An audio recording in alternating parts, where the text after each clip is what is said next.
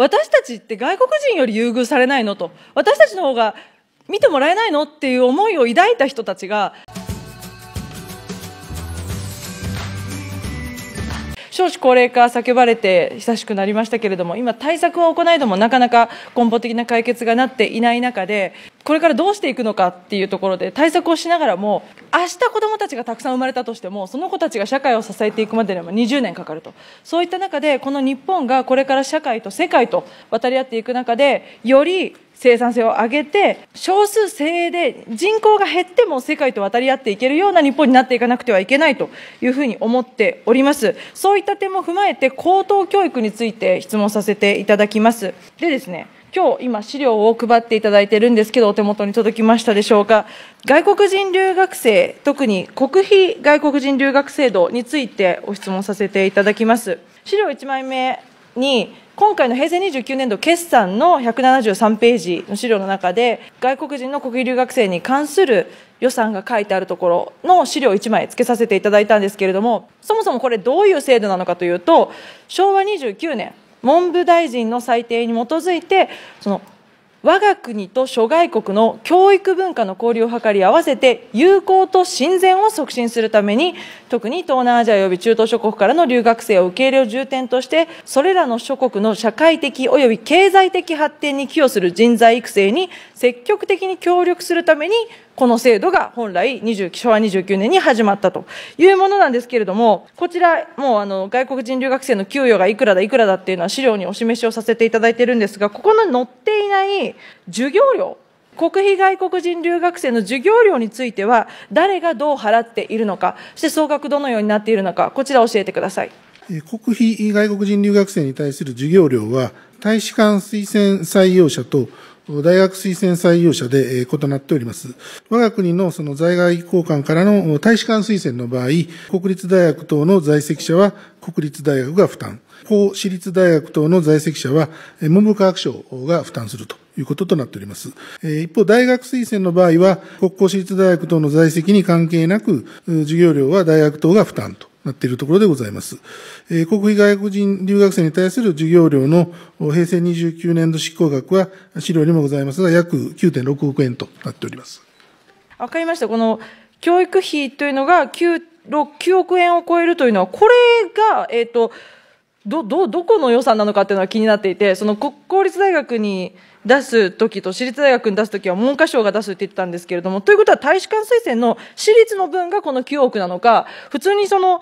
他の大学推薦の場合は大学が負担って言ってますけど、この大学に負担っていうのは運営費交付金とかが使われているわけですよね。その辺も含めて9億なんですか？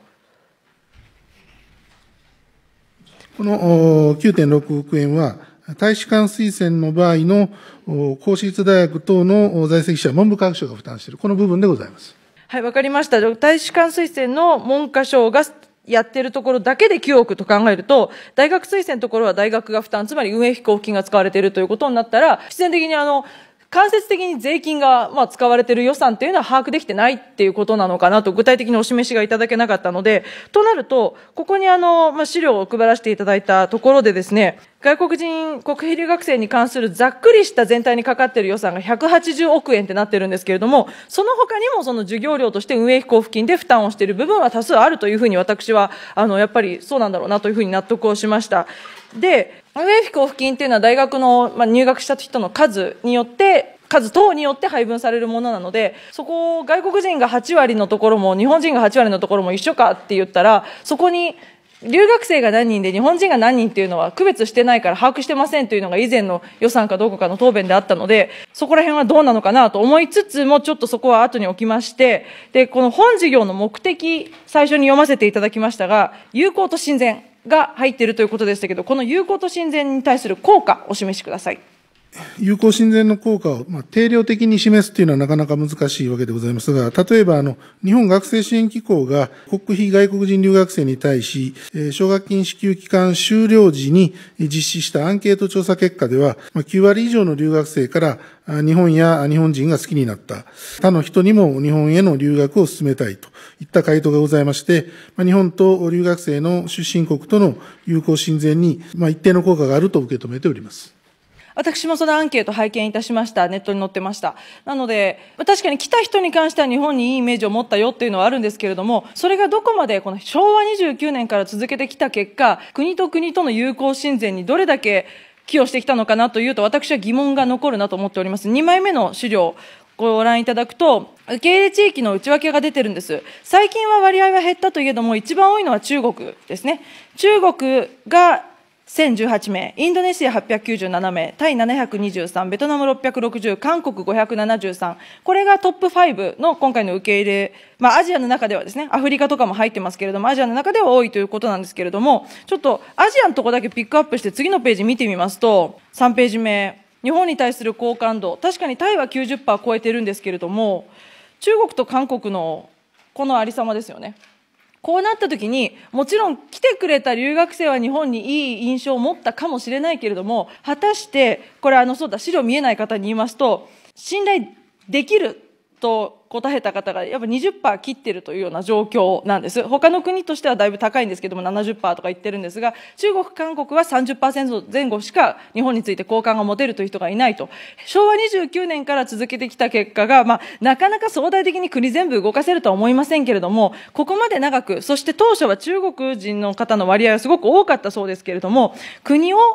変えていけるほどの国と国の友好関係を安すほどの親善効果が果たしてあるのかなというと、ちょっとこの友好親善という目的が具体的に効果が出てるのかどうかというところが私は分かりかねると。で、決算なので、使ったお金に対してきちんと効果があったのかどうなのかっていうのを検証しなくてはいけないし、それが効果が出ていないんであれば、やっぱりやり方を変えることが必要になってくると思うので、まず一つ目のこの友好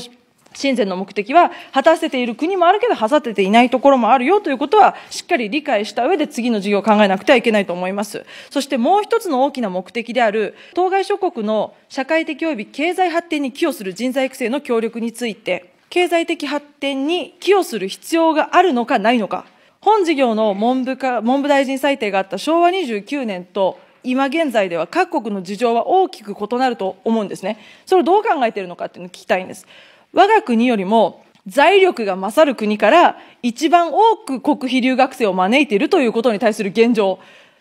GDP2 位の国ですからね。うちら負けてますから。そう考えたら、事情が変わってるのになぜ本来の経済的発展にうちが寄与しなきゃいけないよねっていう国とかのですね、国に限定しないのか、この辺どう考えてらっしゃるんでしょうか、文科大臣。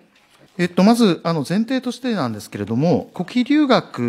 のですね、まあ、学部レベルにおける、まあ、今、あの、えー、委員おっしゃった、えー、中国のですね、えー、方の割合ですけれども、学部レベルですと、まあ、6.9%ということになります。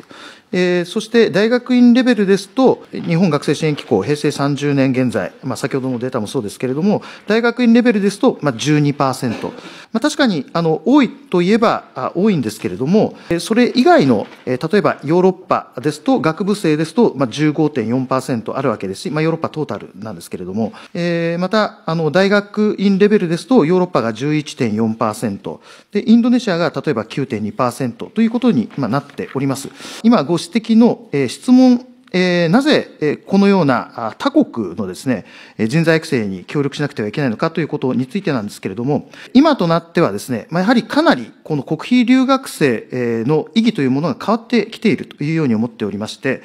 国費留学生の受け入れは、日本人学生の異文化交流促進など、日本人の学習環境の充実ですとか、相互交流による我が国の教育研究力向上など、我が国の大学国際化にも大変大きく貢献すると。ウィンウィンの関係にあると。というように考えております。えまた、日本文化の理解促進や国際関係の改善に資するなど、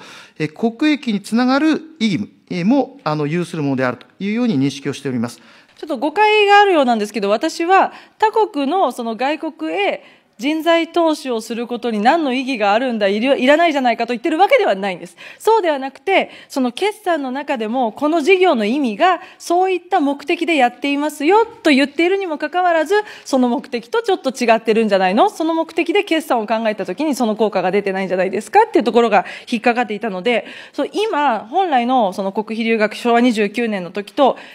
意味が変わってきてると思うとおっしゃってたので、であれば、そういうふうにちょっともうあの事業自体の、なんて言うんでしょう、もう一回作り直しというか、昔作ったものをそのまんま昔の意義のままやってますってなると、やっぱ効果が出てないじゃないかと言わざるを得ないので、我が国の学術のレベルの向上であるとか、文化交流であるとか、日本人の学生の国際化を推進していくっていう意味でやりますというふうにぜひですね、これからはその事業説明をしていただきたいなと思うし、そういった意味で、あの、こういう予算を使うんですよというふうなご説明をいただきたいなというふうに思います。で、当初私、あの、今のように、昔の目標で、昔の目的でやられてた事業をもとに質問書いてるので、ちょっとあの、それを投影されると、全部変わってくるかなっていうところもあるんですけど、引き続きさせていただき、あの、この国費留学生に関しては、昭和29年に日本の良くないとこだなって思うのは、昔からやってるからそのままスライドしてなんとなくやってるとか、もう一度事業を振り返って見直そう、もう一回作り直そうっていうことをなかなかしない傾向にあると思うので、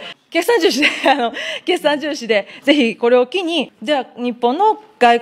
学生さんたちに意味のある事業としてのこの国費留学生をやっていくんだと。だからこういうふうに、えー、人を選んでこういうふうにやっていくんだというのをお示しいただけるような事業に組み替えていただけたら嬉しいなと思います。じゃあその日本人学生とこの国費留学生のことを比べてみたときに、日本人への奨学金、給付型、要はこの国費留学と同じように全部国が持ってあげるよとかですね、全部返さなくていいよっていう奨学金の予算、平成29年度、実は70億円なんですよ。で、平成29年度の国費留学生関係の関連予算が、授業料を合わさずに180億円なんですよ。そう考えたらちょっと切ないなって思いまして、で、ちなみに30年度は105億円に伸びてるんで、18,566人が対象になってると。まあちょっと伸びてよかったなと。平成31年度はさらに伸びているので、それでもね、この外国人の留学生よりも予算少ないんです。で、ちなみに、給付型奨学金の日本人学生の支給額、これ、給付型がですね、月額2万円から4万円になっております。ちなみに国費留学生の給与、月額14万円強となっております。切ないんですよ。文科大臣、どう思われますか？まずですね、外国人留学生に対する奨学金制度につきましては、優秀な外国人留学生を、まあ、我が国に、まあ、引きつけるということが非常に大きな眼目でありまして、学部生では年間約1630人に対して、年間、個別に約140万円程度の支援を行っております。このため、学生にとってより魅力的な教育環境を整備するという観点から、戦略的に優秀な、外国人留学生を、採用しているとまあ、いう制度設計になっております。一方、国内学生向けの給付型奨学金については、2020年度からは、今ご審査をいただいておりますけれども、支援を大幅に拡充をして、最大75万人に対して、年額最大91万円を支給することとしており、まあ、所要額は授業料減免と合わせて最大7600億円程度と試算をしているところであります。文科省においては、このように国内学生に対する支援をえー、まあ、大幅に拡充することに加えて、無利子奨学金の充実、返還困難者への救済策の充実も合わせて取り組んでいるところであります。将来的に増えるのは非常にありがたいんですけど、今の大学4年生の人生は、今の専門学生の人生は帰ってきません。今の子たちはもらえてないんです。この事実は変わらないんですよ。なので、いつかは充実していく、その方向ももちろん大賛成でめっちゃ応援していきたいと思っておりますけれども、とても応援していきたいと思っておりますけれども、今、これから日本を支えていくこうと思う学生たちが、私たちって外国人より優遇されないのと、私たちの方が見てもらえないのっていう思いを抱いた人たちが、どうして日本のために将来この国を支えていこうと思えるのかと考えたときに、これは早急に日本人の方が恵まれてないよねなんていう言葉が出てこない制度に仕組みを変えてほしいと私は強く思います。そうだという声ありがとうございます。はい。はい、これはあの決して私さっきから言ってますけど日本に留学生を入れるなとか排除しろとか一銭も出すなと言ってるわけではなくてやはり日本という国を支えるのはまず日本の学生であり子どもたちがいてその上で交流して切磋琢磨というのがあるのでどうしても今の世の中の流れやこの告示を見てると外国人をどんどん留学生で入れてそのまま優秀な人材として使って日本人はいいやと言われてるような気がして子どもたちのやる気を奪ってるんじゃないかというので心配をしているというところです。いろいろお話しさせていただきましたけれどもこれから少子化の中で日本を支えてくれる人材づくりしっかりと支えていただきたい。そして高等教育だけでなくて高校から大学に行く時の補助はあるんですけれども本当に厳しい家庭の子は中学から高校に上がることすら諦めています。そういったところも踏まえて義務教育からのしっかりした未来のビジョンを作ってこの国のために働いてくれる子どもたちを作れるそういう環境のサポートを引き続きよろしくお願いします。以上で終わります。